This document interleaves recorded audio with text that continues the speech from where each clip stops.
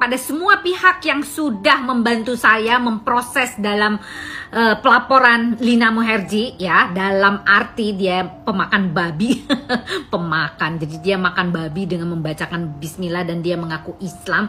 Tapi dia melakukan dan melanggar adat uh, apa namanya uh, uh, apa sih istilahnya uh, sesu sesuatu yang diharamkan ya gitu loh. Bener gak sih guys? Aduh saya juga uh, apa ya nggak habis pikir tuh kenapa dia melakukan itu. Oke okay, anyway saya terima kasih kepada semua pihak yang sudah membantu saya melancarkan uh, pelaporan tersebut ya. Dan mudah-mudahan segera diproses nih oleh polisi nih.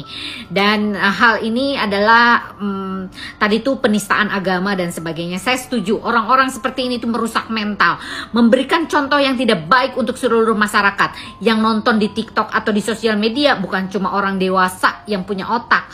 Tapi anak kecil yang dia tidak paham dan tidak mengerti apa yang seharusnya dilakukan Oke, jadi saya setuju dengan orang-orang seperti ini harus dibasmi.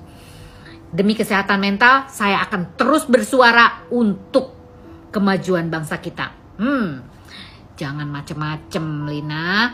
Oke, kamu jangan terlalu pede. Nah, katanya nih, ini bukan overconfidence, tapi arogan. Overconfidence itu karakter dia, oke, yang selalu membuat dia itu uh kayak nggak punya urat malu gitu.